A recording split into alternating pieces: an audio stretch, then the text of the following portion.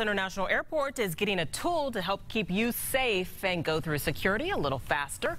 Their canine team consists of three dogs and their handlers. Today, one team did a demonstration to show how the dogs are able to sniff out explosives sitting in the airport and on travelers.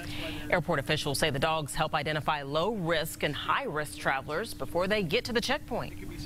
It's fascinating. These these dogs can pick a pick up a scent and in a, in a split second uh, make a determination for us if somebody is a risk or not. So that's a great tool to have at our disposal, where you have a, a mobile uh, threat detection tool uh, that you can move uh, throughout the airport. Right now, the airport is working to get another handler so that they have four working dogs at all times.